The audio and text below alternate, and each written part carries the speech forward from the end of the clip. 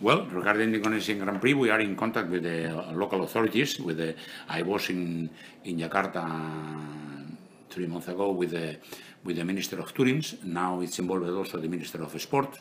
We are we are discussing many things, but the the things are progressing very well. Now they they need to to submit to us the rebuilding of the in principle the Sentul circuit.